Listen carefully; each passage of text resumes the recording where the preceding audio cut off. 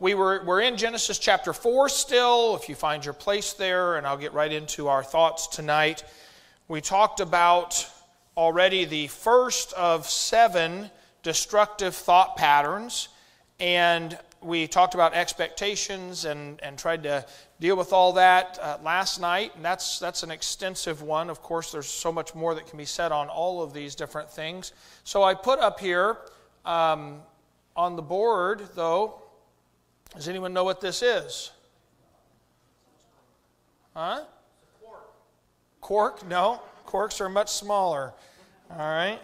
That's our first point of the night. All right.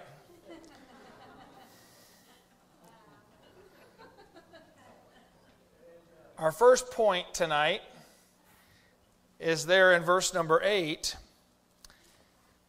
of our text. Now, we're going to read starting in verse number 3, and we're going to read all the way up to verse number 8, and then we're going to get to what's on the board.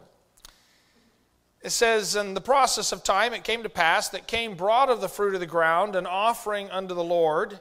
And Abel he also brought of the firstlings of his flock and of the fat thereof. And the Lord had respect unto Abel and to his offering. But unto Cain and to his offering he had not respect. And Cain was very wroth, and his countenance fell.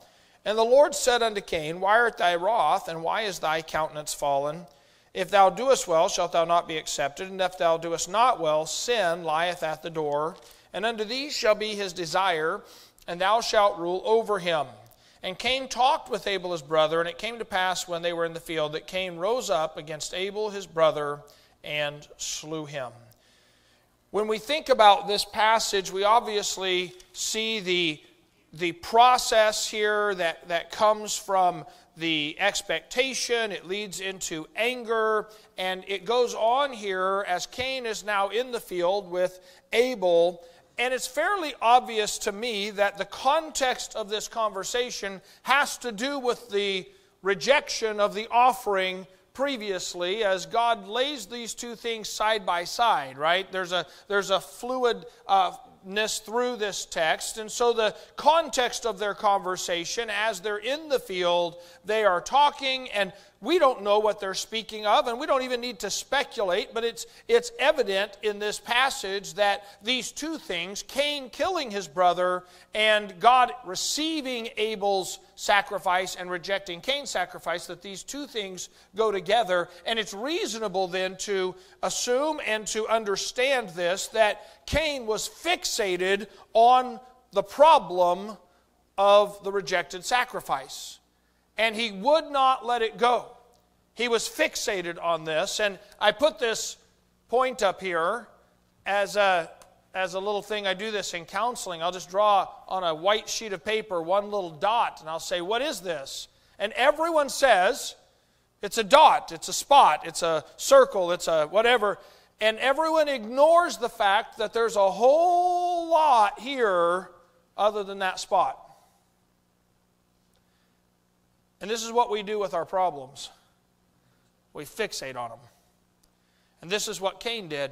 He fixated on one thing and he would not move forward. And God warned him about this. He warned him that if he did not give, it, give this sin over to God, if he didn't, didn't turn away from this expectation problem and put the sin of anger away from him, notice what he says in verse number seven uh, Unto thee shall be his desire, and thou shalt rule over him. He said, It'll, it'll dominate you. The desire for the fulfillment of your expectations and the lust of your flesh will, he says, and thou shalt rule over him. This is an interesting statement because um, what happens is, is we think we are in control of our expectations and our lusts until they are in control of us.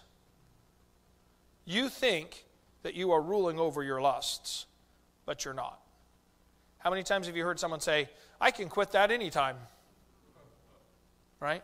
Well, I don't, I don't have to drink. I don't have to smoke. I don't have to do, I don't have to do that. I can quit anytime I want. And that's always the feeling people have about their lusts. But it's not the reality of lust, is it? It dominates us. and he had a fixation on this. Let's think about this problem fixation for just a moment because we have a tendency to do this where we fixate on broken expectations as Cain did. And I, I, don't know about you, but there have been times when I've gotten up in the morning in a really good attitude and everything was going well, and it wasn't long into the day, but someone broke one of my expectations, and it seemed like the rest of the day it was clouded by that one thing that happened back there. It carried it with me, and it was a problem the rest of the day It made everything worse all day long. And I got home, and it was like that one thing. But why was it still a problem? Because I was still focused on it. I wasn't letting go of it, I was carrying it with me. I put it on my back and I said, I'll, I'll tote this along and I'll make sure that it doesn't go away. I'll keep this as a, an object of attention, if you will, throughout my day. And this is exactly what we see Cain doing. Why would he do this? Well, first of all, there's a significant amount of self justification in this in this passage, and we would say self justification based upon his intentions. His intentions were good. His intention was to bring an offering to God. Why would God reject my offering? I had the right heart in bringing it. I wanted to honor Him. I wanted to bring this offering and do something for God. And, and I should have been accepted. And why would He accept your offering and not my offering? And all of this justification and self justification has, really has no end point, does it? Because we can always compare our intentions with the outcome. That's not what I meant. You ever have this at home with your children as they're playing, and maybe as they're playing, one inadvertently hits the other one, or so they say. Um, and they hit the other child, and the second child, the one that gets hit, is crying, and you say to the first child, Hey, you need to apologize. And the, and the response goes something like this Well, I didn't mean to hit him. Okay, but you did hit them, and you need to apologize. But I didn't mean to. Does that matter? Concerning whether they should apologize, it doesn't matter, does it? But we have a tendency to do that as adults, too, by the way, where we fixate on a problem and our intention was right. Our intention was good. Therefore, we should not be judged. We have a tendency to judge others by their actions, but want them to judge us by our intentions. That's a problem. We have that judgmental spirit. Now, I can, I can tell someone's judgmental just by looking at them.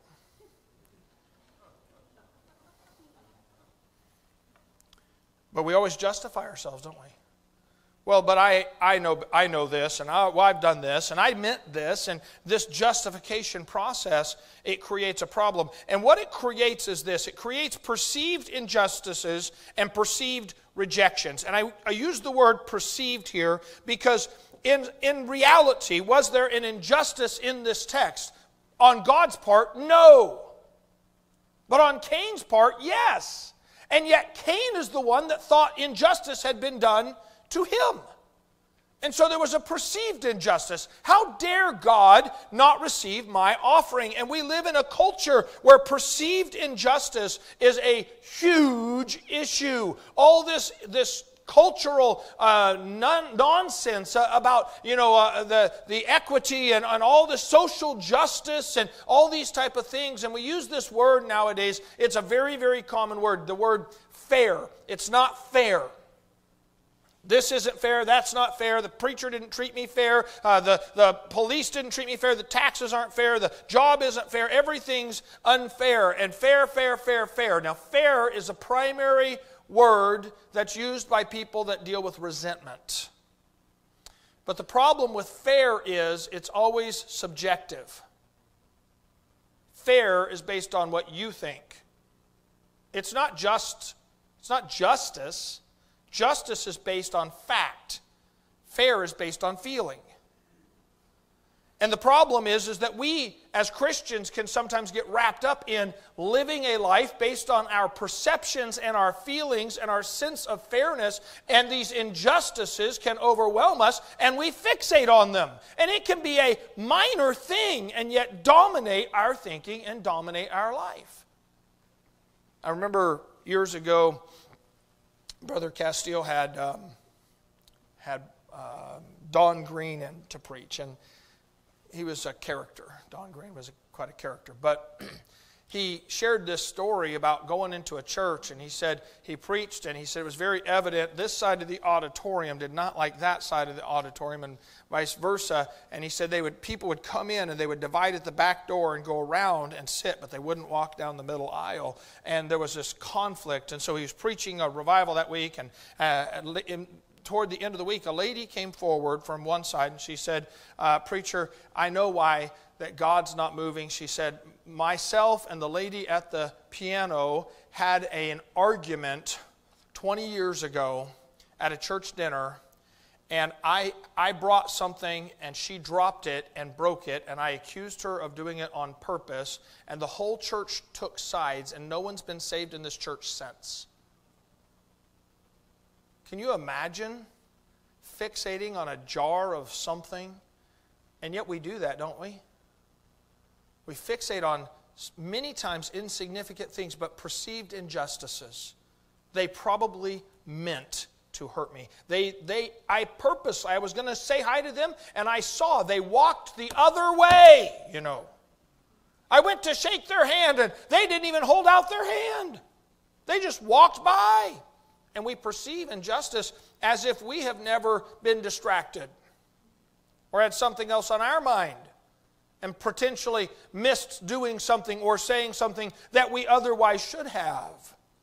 But we read injustice into all kinds of situations. And so Cain has a perceived injustice. Not only a perceived injustice, but a perceived rejection. And not only does Cain deal with this issue of, of perceived rejection, but Saul deals with this issue of perceived rejection uh, on a personal level. And I want to say it like this because Paul was rejected from being king, but the reason for Paul's Saul's re- I said Paul Saul's rejection wasn't because God hated Saul. It was because Saul disobeyed God. And the problem we have there is this same problem we see with Cain. God gave Cain an opportunity to repent, but Cain refused to repent. Do you not think God, the merciful, loving God who forgave and turned his will concerning Hezekiah's death, might not have turned his will had Saul been repentive? Well, God is merciful and kind. You say, Well, I don't know if he would have. I don't know either, but we'll never know, will we? But we do know God's merciful, He's good, and we also know Saul never repented. He never turned, he never changed. He lived the rest of his life with this rejection complex and fixated on this idea that this kingdom was his. It was his, and he couldn't lose it. And if he lost it, this would be the worst possible thing. And, and he, had, he had to keep it. He had to save it. He had to make sure that no one took it. And David was the enemy because David was going to take his kingdom, and he was fixated on it. And fixation leads to lots of other problems obsession compulsive behavior, which is exactly what we see with Saul. And he tried to kill David, and David fled, and he chased David. And remember, David cut the hem of his garment off and, and called to him. And Saul said, I'm wrong, I repent. And he went back and he said, I won't chase you anymore. And then, what do we, like a chapter later, he's out there chasing him again, isn't he? Because of this perceived injustice and this perceived rejection on the part of God that Cain fixated on this problem of protecting his kingdom. He was absolutely certain that it was necessary for him to pass it on to Jonathan, and Jonathan didn't even want it. But Saul was fixated on giving it to him. How dare you, Jonathan, not want what I know is best for this and for and really, here's, here is the problem. He didn't want it for Jonathan's sake, he wanted it for his. It was his legacy. It was his lust and his legacy, you see. But this perceived injustice, perceived rejection, can be problem fixations. How about this? The what ifs. We fixate on what ifs. Years ago, when we were first married, we went to uh, I lived in we lived in Goodland or yeah Goodland, Kansas, which is right on the border of Colby, uh, Colby, uh, Colorado. And um, so I was working this job that took me over into Colorado. It's an hour time difference, and I was working one day and it started snowing. Now, some of you young people might not even believe this, but this was before cell phones. That's how old I am, all right?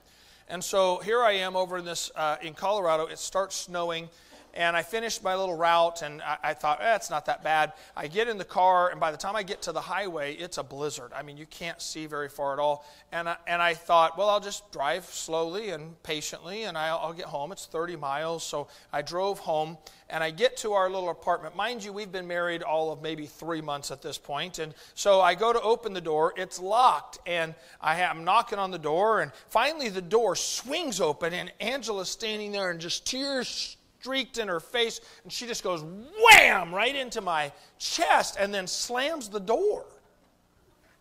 And I thought, what did I do? Men know what I'm talking about right there. What did I do? So finally, I, talking through the door, get her to unlock it and let me in. And she said, uh, It started snowing, and you didn't call and I was just imagining you dead in a ditch, and I've been married three months, and I'm a widow already, and, and she's got all this built up in her head. I know none of you ladies have ever, you know, done anything like that. Built up this entire narrative in which I am dead. I don't know how many times I have died in this lifetime, but I'm certain. Now it's not like the fearful thing. She's like, you know you've got good insurance. If this happened, that would. So now her what ifs are like, well, what if that happened? I could definitely buy that beach house. I could do that, you know, and um, so it's it's less fearful now. But you think I'm joking, but I don't think I am. So, but we get the what ifs, don't we? And we we what if a scenario to death, and and we have all of these uh, these things that, and and we're stressed and we're consumed with. Well, what if this? What if this? What if this? What if this? What if this? What if this? And you know, there's no end to it. There's no end to it. It's, it's a cycle of fear. It's very exemplified with Saul. And all the what if this and what if what if David doesn't if what if he escapes? What if he's over there? What if this? What if that? And he's consumed with this, fixated on this, and there's actually nothing happening. It was all in his head. David wasn't trying to take the kingdom from him. David wasn't trying to turn people against him. David would have stayed by his side all the way to the end and died for Saul. But in Saul's mind, all of the what ifs consumed him. And he fixated on them. It was a lack of faith. It was a lack of faith. You know, you can't solve problems that don't even exist. You say, well, what if they do? Well, God will be there. Do you think He knows what's coming? Well, certainly He does. He knows everything, and He knows all the way to the end. He can see it already. He's already there, He already knows the solution. I don't have to figure out the problem.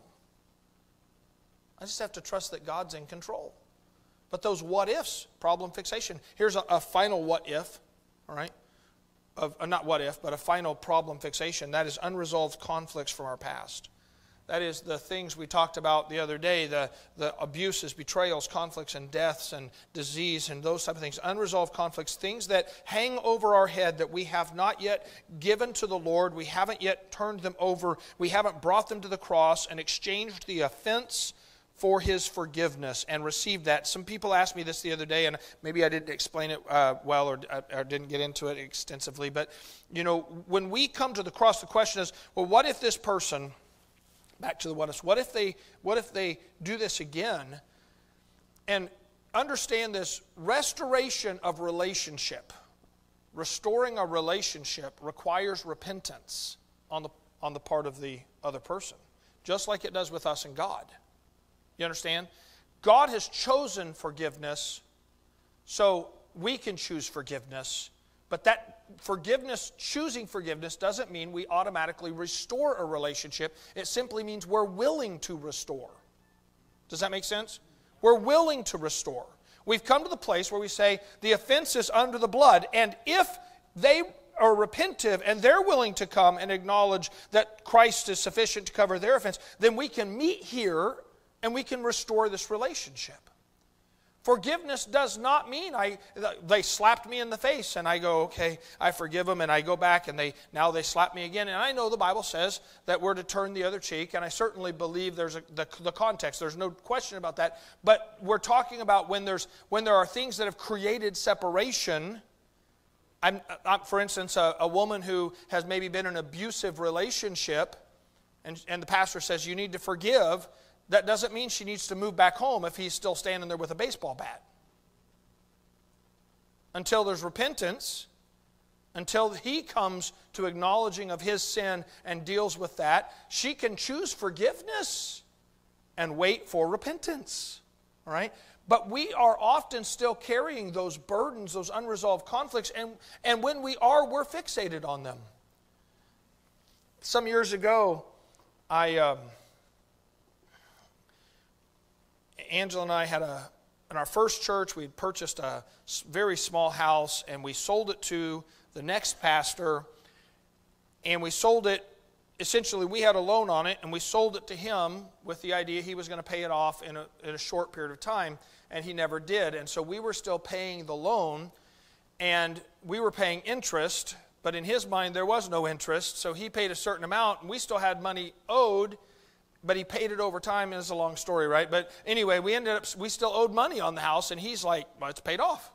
No, it's not paid off. The bank still, you know, says there's money owed. And anyway, there was this conflict, and, and I, got, I got so upset. I got angry at this guy, and I was so fixated. And I did do this, and I hate that I have to admit this, okay? But I, I prayed imprecatory prayers about him.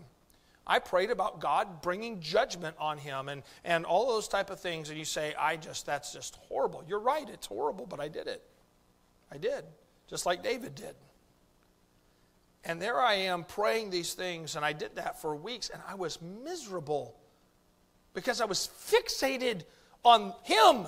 And God's got to bring judgment on him. And God's got to deal with this. And I've been wronged. And oh, oh, oh, oh, oh and I was so fixated on him that it stole my peace, my joy, and hearing from God. And I'm doing my devotions one morning after several weeks, and I'm reading, and I'm like, God, why, did, why aren't you speaking to me? And all of a sudden, it was like the Holy Spirit said, Because you're not listening to me. you know what I had to do? I had to get down on my knees and ask God to forgive me for my wrong spirit, my fixation on that problem. And I had to turn it over to Him. And you know what happened? That other guy didn't change. But God took care of the debt.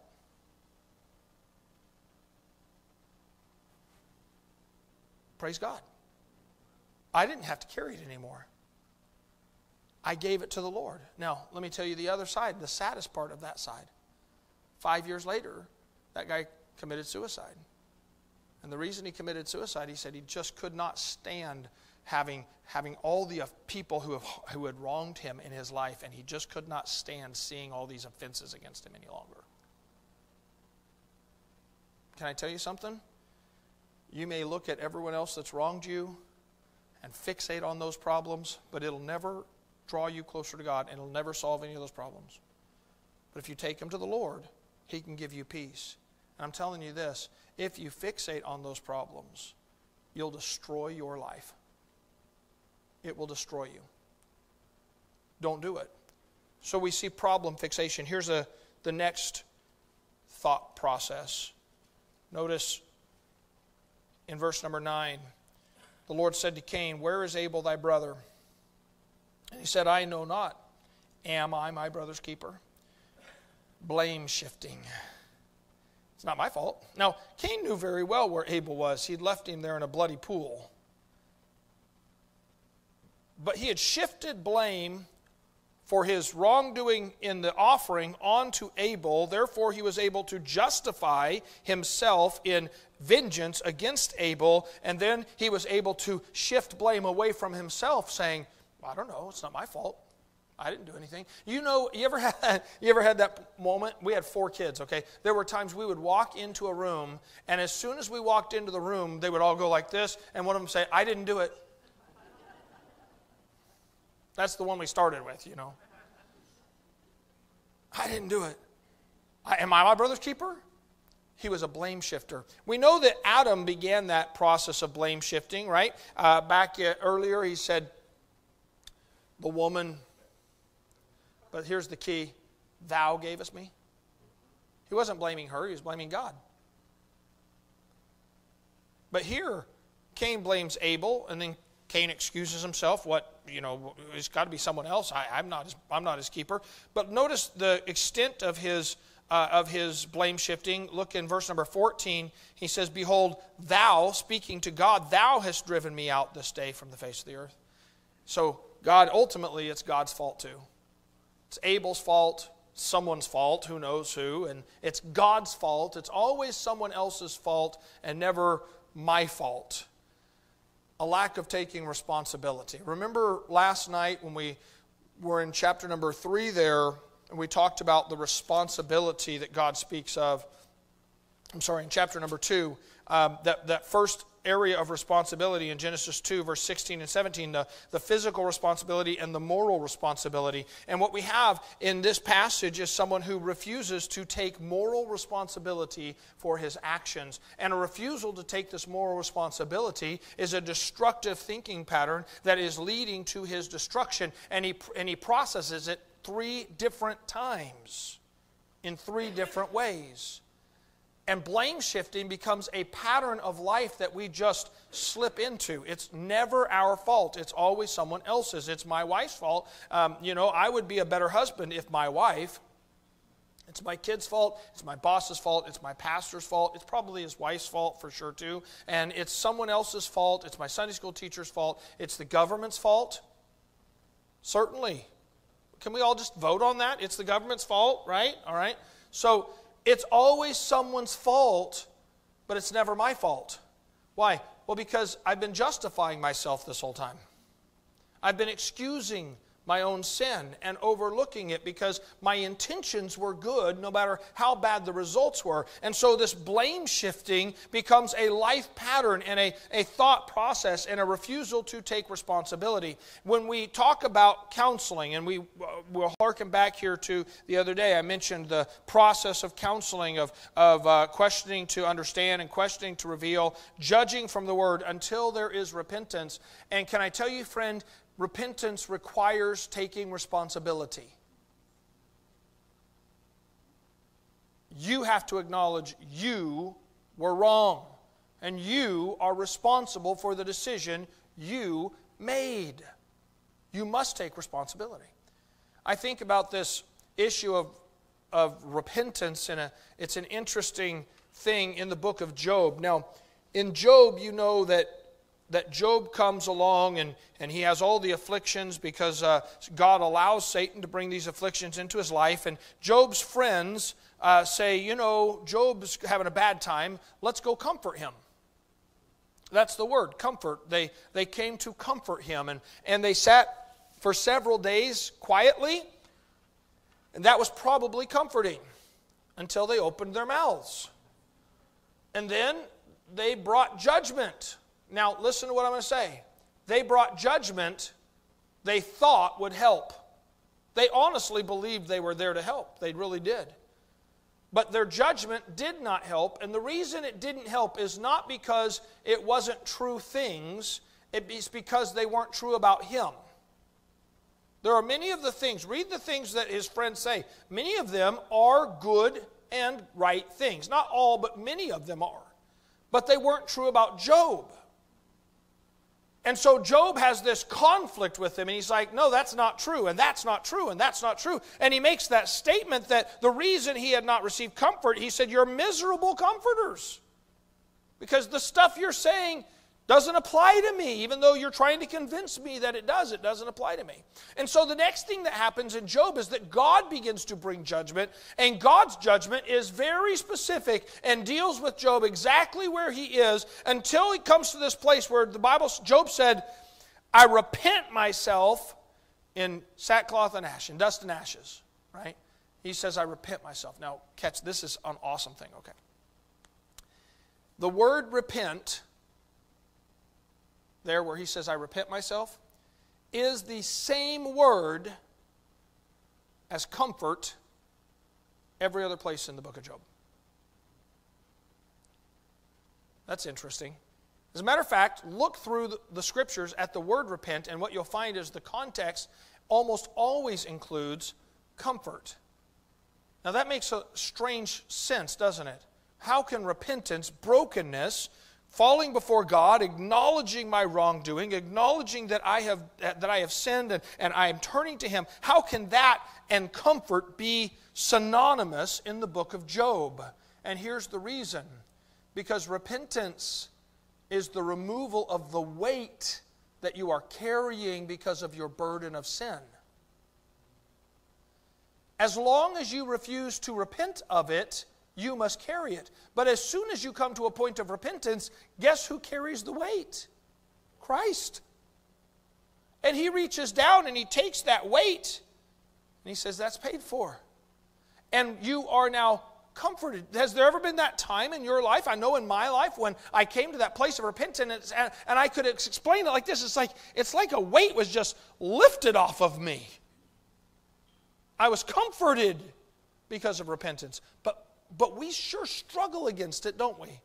We sure fight against that point of repentance. We want someone else to take the blame. We don't want to be blamed. It's got to be someone else's fault. But yet we must come to a place of repentance if there is going to be any salvaging of our life. Well, Cain refused repentance. So Cain refused to change his expectation. Cain refused to stop fixating on the problem. Cain refused to accept responsibility. Here's number four.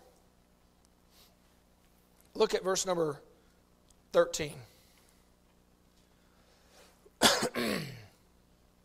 he says, And Cain said unto the Lord, My punishment is greater than I can bear. Here's the, the fourth destructive thought pattern victimhood. Cain committed murder, and his punishment was greater than he could bear. Right? Wait a minute. You're the one that did wrong to begin with, and then you did more wrong, and now you're the victim? Isn't that amazing how that works? It's not changed much in all of these years from the time of Cain to, Cain to today, has it? It's, it's amazing how quickly people who do wrong also claim victimhood status. And this victimhood, I, have been, I've been done so wrong. Can I tell you that the issue here, and this is an important marker, and I think it's a transitional marker in this thought because he refused to take responsibility and come to a place of repentance, uh, taking that responsibility. And so when we, when we come to a place of repentance, one of the evidences of repentance in the scriptures is that we accept the consequences of our sin. Okay, so a guy goes out and commits adultery, and he comes and he confesses it because he was going to get caught probably anyway. He confesses it, or he gets caught and confesses, which is often the case. And he confesses and he says, I repent. I was wrong. Forgive me. He cries, and then his wife says, You know, I feel like it's going to take me time to trust you again. And he says, How dare you not forgive me? How dare you treat me that way? Why, God doesn't treat me like that, and she's treating me wrong, Pastor. Look what she's doing. Here I have come and repented, and look how she's behaving. Has he repented? No. You know why? How we know? Because he's saying, My punishment's greater than I can bear. Come on. it doesn't have to be that extreme, by the way, for this to be the case. When we are looking at ourselves as a victim, it is an evident token that there has not been repentance in our life. Because we're still justifying. We're still explaining away. We're still looking at this injustice and fixated on that injustice. It's just shifted now a little bit, and we're now becoming more and more of a victim. And this victimhood mentality is so destructive to our world. I'm just telling you, uh, there's, there's never been a time in the world, in the history of the world, where more people had more opportunity than right here. And yet, our nation is fixated on the idea that everyone's a victim. Well, except me. And that's just true. Everyone's a victim. Let me tell you something injustices are horrible, they're bad. I'm not for them. There's no justification for them, for legitimate injustices. But everyone has to take responsibility for themselves and where they're at or they're never going to have victory in their life. And so, the longer that we allow ourselves to live in victim mentality, the more destructive it is to our life because we never take responsibility for ourselves and move forward and this victimhood mentality that Cain brings upon uh, uh, along here it's it's that you know any punishment is too much because I didn't mean to do wrong and I shouldn't be judged because my intentions were right and, and I've been I've been rejected and, and I've been mistreated and all of these type of things. Now let's analyze just for a moment this thought this was his punishment inju- unjust well, of course it wasn't. It wasn't even to the extent that we know God claims justice under the law. In reality, Cain received mercy in this judgment. He should have died himself. But God didn't kill him. So he received mercy, and it was still too much. Victimhood. Terrible, destructive thought pattern. Let's move on to the next one. Notice verse 13 again, and we're just going to notice pronouns here in verse 13 and 14. Cain said to the Lord, My punishment is greater than I can bear. Thou hast driven me out this day from the face of the earth. From thy face shall I be hid. I shall be a fugitive and a vagabond of the earth. It shall come to pass, everyone that findeth me shall slay me. I, I, I, me, me, me. Self focus self focus. Cain was ultimately revealed here just completely absorbed with himself. Everything was about him.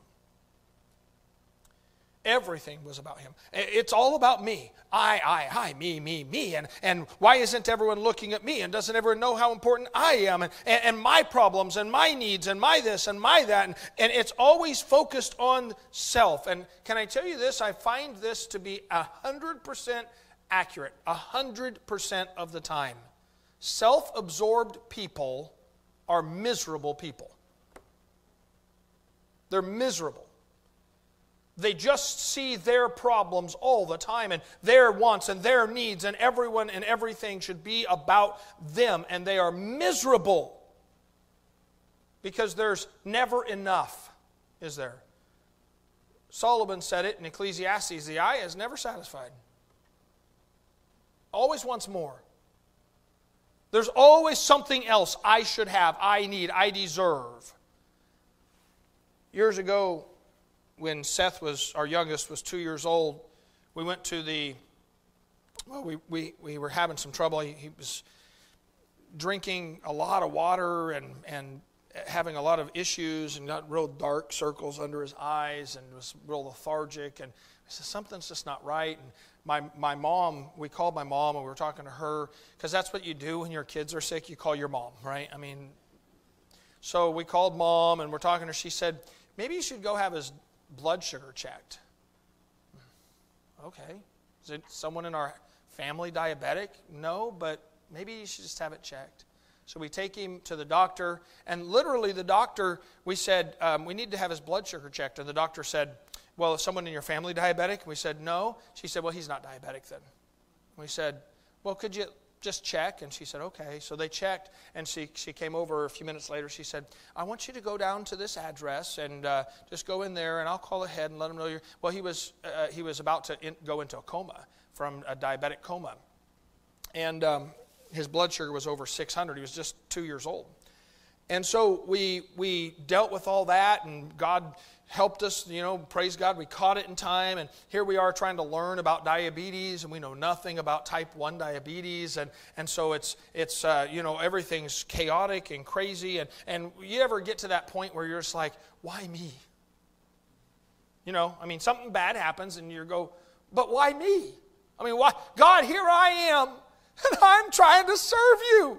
I'm in Bible college and I'm trying to do my best. And Lord, I tithe. You always got to throw that in there, you know. And I give to missions. And I go out on visitation. And God, you know how we've sacrificed for you. Why me? Come on, don't pretend like you've never had that prayer. Why me?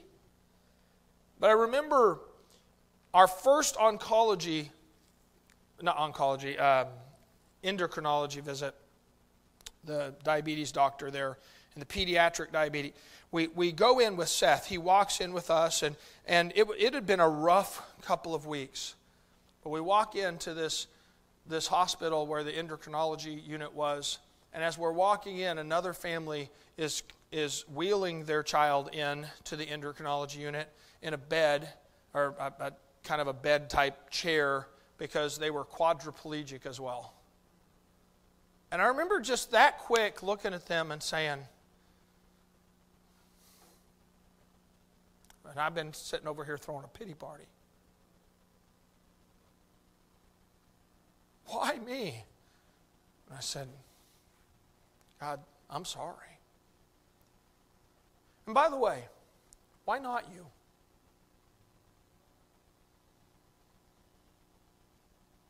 Why not you? So, well, why would God want bad things to happen in my life? Bad things happen in His life for you. He suffered for you. And you know, the reality is, is that when we suffer, it's the opportunity that we have. It is the singular opportunity that we have to really understand what He went through for us. And suffering is a great blessing if we receive it properly. Nothing that draws me closer to God could possibly be bad for me. But I can look at suffering and blame God and become self absorbed. Or I can receive suffering and say, God, I know that you know what it's like to suffer and I can rest in his arms and I can receive his comfort and I can receive his, his love and his mercy. And listen, the, there's a wonderful reality of what the Bible says here when the Bible tells us that Jesus said, I will send the comforter. And he is a comforter when we're not absorbed with self. Because God, listen, resists the proud, but gives grace to the humble. Say, well, why is it so bad that, I, that I'm focused on my problems? Because when you're focused on you, you're living in pride and you're going to be resisted by God. You're not going to receive the grace of God. He resists the proud but gives grace to the humble. Now, think about what Hebrews chapter number 12 uh, tells us when it says, uh, Take heed lest in, any root of bitterness springing up in you trouble you. But he says, Take heed lest you fail of the grace of God. That's what he says. Lest any root of bitterness spring up in you trouble you. How would you fail of the grace of God? God resists the proud and gives grace to the humble. Where does God's grace come from? It comes from our humility. And if we don't exercise humility before God, then we're going to fail of His grace. We're going to become bitter. We're going to be troubled. Our life is going to be destroyed. Self focus is destructive thought pattern. Hold your place here in Genesis chapter number 4 and turn over to the book of Philippians and notice here what the Lord tells us we are to do in regards to our thinking. In the book of Philippians, chapter number 2, we've spoken of it just a moment uh, ago, or, or just a, a, few minutes ago, used this phrase. But in, in Philippians, chapter number 2, he says, Fulfill ye my joy that ye be like minded, having the same love, having being of one accord, of one mind. Let nothing be done through strife or vainglory, but in lowliness of mind let each esteem other better than themselves. Look not every man on his own things, but every man also on the things of others. Notice this mind. This is the mind of Christ. Esteem others better than yourself. Don't look every on your own things. Look on the things of others. Notice that statement: others, others, others. Uh, let this mind be in you, which also was in Christ Jesus, who, being in the form of God, thought it not robbery to be equal with God, but made himself of no reputation, and took on him the form of a servant, and was made in the likeness of men. And being found in fashion as a man, he humbled himself and became obedient unto death even the death of the cross. Notice the mind of Christ, the way we ought to think, is in complete opposition to self focus. It's about serving others, ministering to others, esteeming others better than yourself, looking at the needs of others. Nowhere in here do we find Christ walking around on this earth saying, Hey, I'm the Son of God. Do what I want. Serve me. Focus on me. Listen to me. Look at me. Right? It wasn't about him. And yet he was the Son of God. And he came and became a servant.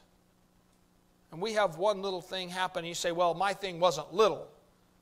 Well, remember this the only, the only minor surgery is the one that happens to someone else. Right? We get so focused because of what we are going through, and we become self absorbed and we don't look at the needs of others. And it's destructive to our thinking. Now, look at this idea here because Philippians is like almost every book here in this past, this portion it, it progresses in chapter number 1 He's talking about how, how we're to put the filter of the gospel on in our mind. In chapter number two, he's talking about how we are to be faithful to the gospel and obedient to the gospel. In chapter number three, he talks about how we're to put off the fleshly mind and the thinking of the, of the carnal mind. And then in chapter number four, we find that we are in this fortified position with God. Our mind is fortified, our thinking is fortified, it's protected and sheltered. And, and look at verse number four here. He says, Rejoice in the Lord always. And again, I say, rejoice. Let your moderation be known to all men. The Lord is at hand. Be careful for nothing, but in everything by prayer and supplication with thanksgiving, let your requests be made known unto God. And the peace of God, which passeth understanding, shall keep your hearts and minds through Jesus Christ. Finally, brethren, whatsoever things are true, whatsoever things are honest, whatsoever things are just, whatsoever things are pure, whatsoever things are lovely, whatsoever things are of good report, if there be any virtue, if there be any praise,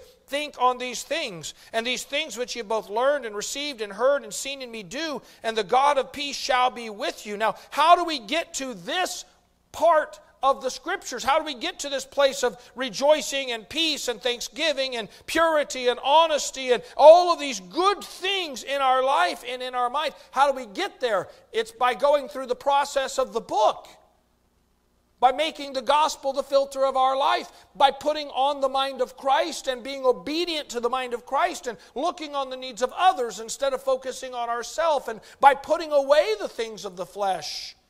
That's how we get here. It's not just wake up in the morning and go, all right, I'm going to think good thoughts. Feeling the good vibes today. Right on. No. It's the mind of Christ that we must have. And the mind of Christ is in diametric opposition to selfishness. So we have to put off selfishness, self focus. We're almost there. Only two more. I told you I'd get to all of them. Go back to Genesis 4.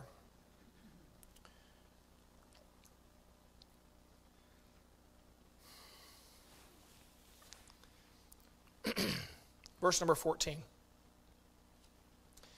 Behold, thou hast driven me out. Notice this next statement.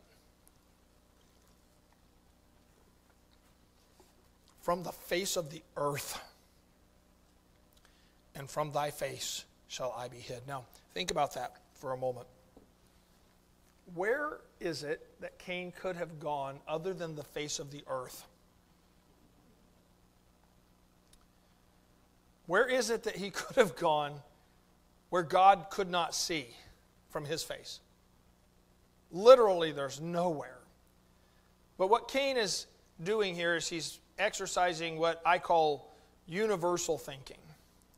That is, his problem was the biggest problem of all problems everywhere in the universe. Nobody had bigger problems than Cain. From the face of the earth, everywhere, my problem is all consuming. And what we do is we magnify our problems. We magnify them. All right, let me talk about marriage for just a second. So I'm, I'm dealing with emotional pain, right? So, you know what they say that marriage is, um, is a three ring circus, right? There's the engagement ring and the wedding, ring, and then the suffering. That's a joke, all right. So, the, the thing, this happens in marriage. Don't throw rocks at me. Just hold on for a second. This happens in marriage.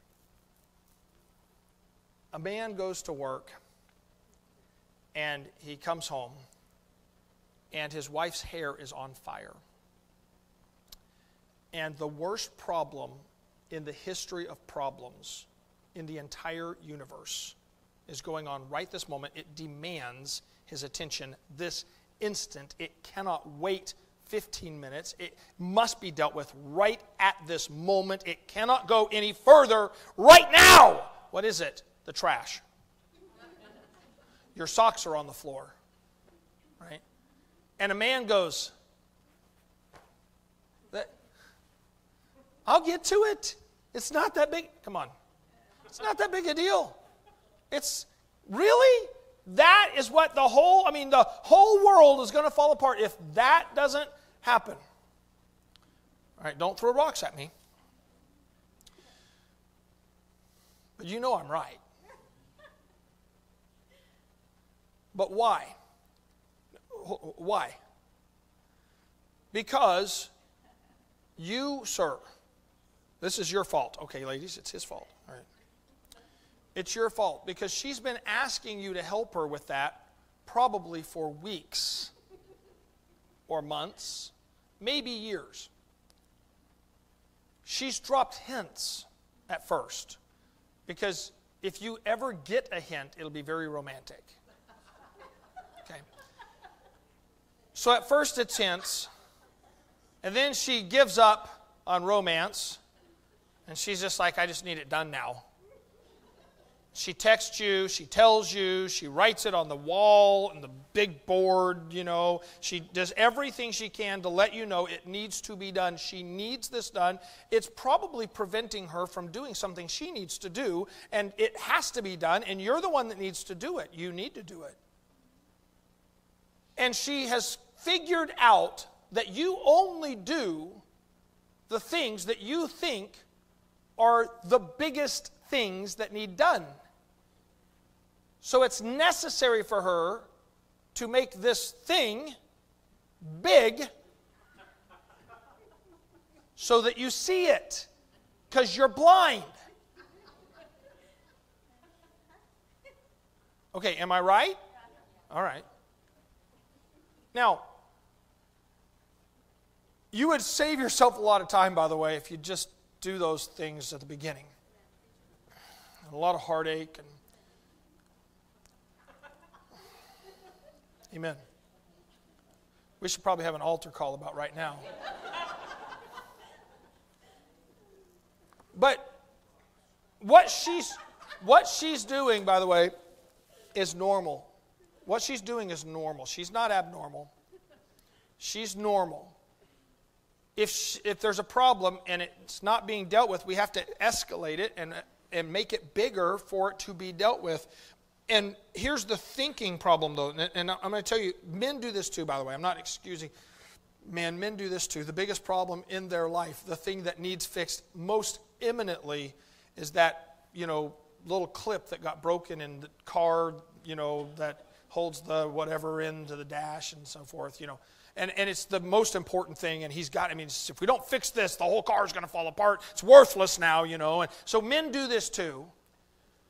But this universalized problem thinking, making the problem bigger and bigger and bigger and bigger and bigger, becomes a thinking pattern that, if we're not careful, escalates our problems to such size that they are unsolvable. And so when people come in for marriage counseling, very often I'll sit down with them and I'll say, What's the problem? And it's like one of them will say, There's too many. Like there's so many problems. It's a mountain of problems. It's not one problem, it's, it's all the problems. It's everything, you know. And it's so insurmountable. And it can't be dealt with. You can't deal with the, with the problem that's so huge that it's immeasurable. It extends beyond the universe. It can't be fixed. And so that thinking problem escalates our problems to unfixable status. And we have to recognize that that problem, as we have elevated it in size, no matter how big it has gotten, we need to get a right view of who God is because every problem is small to Him. And we're fixated on the wrong thing. We're focused on the size of our problem rather than the greatness of our God. And we look over to Psalm 4. Hold your place there in Genesis and look over to Psalm 4.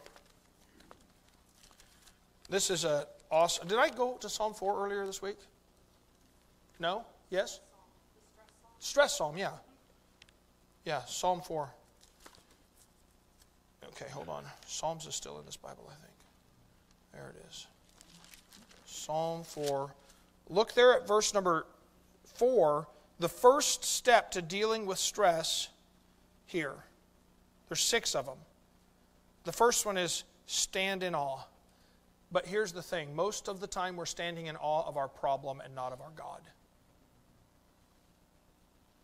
And if you're going to fix this universal thinking problem, you've got to get your view proper.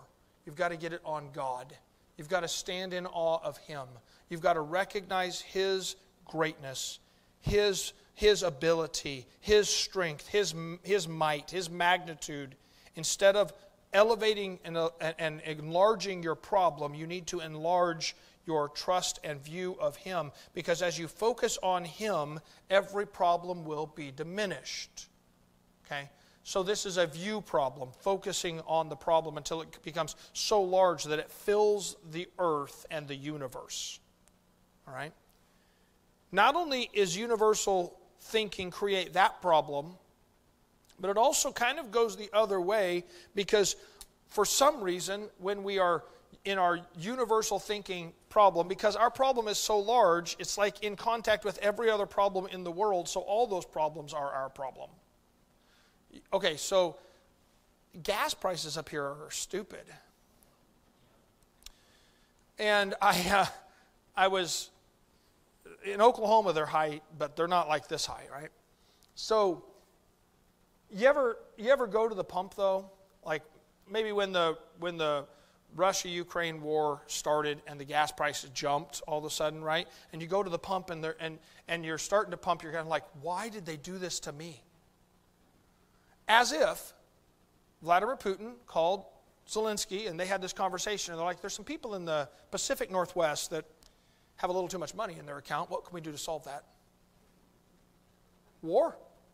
That'll do it. That'll raise the gas price. Let's do it. Like it had anything to do with you. But somehow, right, the egg price went through the roof. Why did they do this to me? Don't they know how tight my budget already is? They weren't doing it to you, okay, specifically. It wasn't about you, right? But universal thinking creates that scenario where every problem of why is this happening to me it becomes that, that absorption uh, uh, philosophy as well. All right, here's the last one. Number seven. Are you ready? We finally made it. All right, verse number 14. Thou hast driven me out this day from the face of the earth, and from thy face shall I be hid, and I shall be a fugitive and vagabond of the earth. No, notice this next statement. Shall come to pass that everyone, everyone, generalized thinking, everyone that finds me shall slay me. Everyone on the face of the earth has a plan to kill me right now. Right? Everyone. I always have this happen. You never do what I need you to do. Extreme thinking. Always to the extreme. Always, never, everyone, no one. This extreme thinking. This is a lot of conversations that, that you'll have, you know, at home too. We can talk about marriage there a little bit, right? You never pick up your socks. Never. Right? You go, Yes, I do. Picked them up last week. I know I've picked them up. I Had to pick them up to put them on because they didn't get washed because I didn't put them in the hamper. Right? Never, always, this extreme thinking. Okay, now, extreme thinking drives us to extreme responses. And we have to be careful about it. And I'm going to I'm going to pull this together in this thought. I'm not going to spend a lot of time ex- expounding on this one. What happens here is that Cain has these negative thinking patterns. He's got this, this uh, problem with his expectations. He's fixated on his problems. He is blame shifting and not taking responsibility. He, he's claiming victimhood now. He is self focused. He's got the biggest problem in the entire universe, and everyone's against him. Extreme thinking. And where does this lead him? Away from the presence of God. Right? It drives him away. This issue of departing from God and the state of thought he is in, I think it's one of those things that we can look at and understand a process that leads to depression here in this passage. Because we see the same style of thinking with Saul. And with Saul, the issue of depression is very clearly stated. Okay? But we see all of these same thinking patterns in Saul as well. And he's extreme. Everyone's against me. Everyone's out to protect David. My problem is the biggest problem in the world. I'm a victim here. David, you know, everyone's against me. Saul makes that direct statement. You understand? All of these thought processes are there with Saul as well. And they lead to this state of depression. Depression is. Um, is considered to be by the World Health Organization is considered to be the number one cause of human suffering in the world. Okay? More people are on antidepressants today than any other medication in the world. And the bulk of those people are in first world countries. No, think about that for just a second because the people living in third world poverty aren't depressed.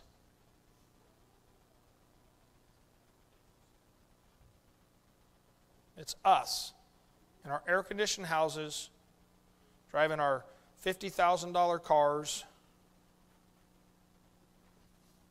having everything we ever wanted. We're depressed. And why? It's not because of our condition.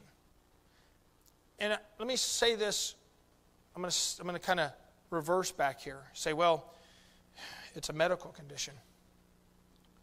Okay. I'm going to say that the reality is is that physical situations can create depression. Sure they can. Thyroid issue can create depression. Cancer can create a scenario where there's depression because the body is not functioning properly. Okay? The uh, postpartum, where a woman's hormones just go wacky after giving birth, it can create depression because there's a hormonal imbalance in the body. Menopause can create depression, right? Many other illnesses, by the way, even diabetes. Okay, here's the thing though those things can be identified, tested, verified, and treated. But you know how they test for depression? Do you feel sad? Lethargic? Have trouble getting up in the morning? lack of drive. You're depressed, take these pills. There's no blood issue. There's no, there's no actual medical diagnosis. So are you saying depression isn't real? No, I'm saying it's very real. And if there's a physical reason for it, the physical reason can be identified. But do you realize that statistically, scientific studies have shown this? Exercising 30 minutes three times a week has been scientifically shown to be as effective as the most effective antidepressant.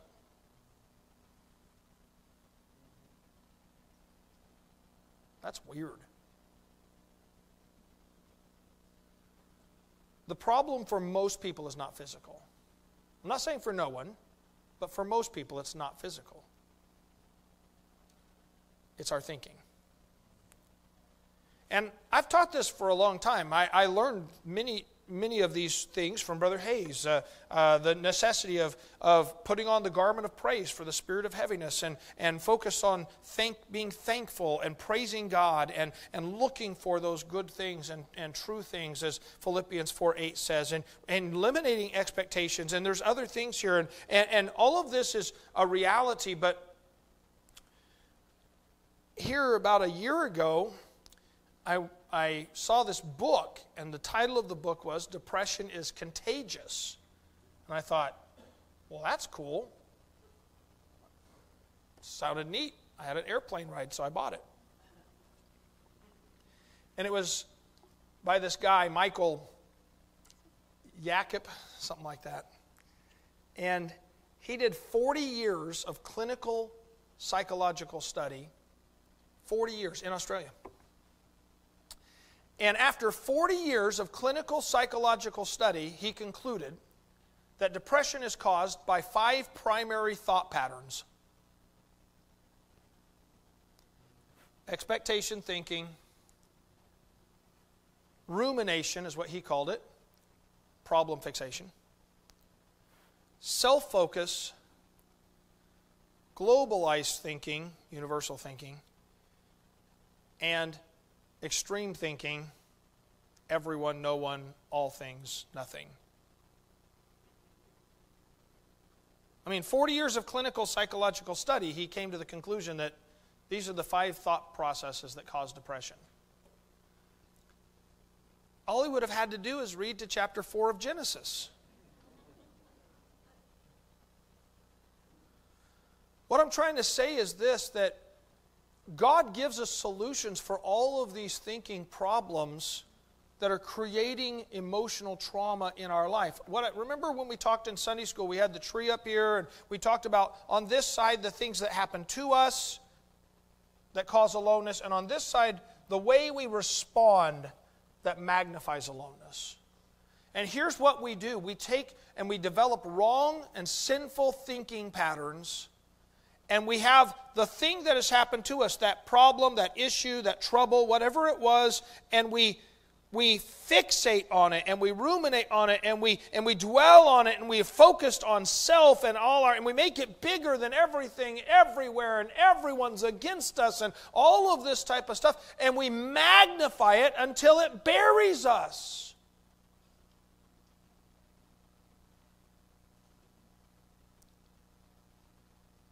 who's responsible?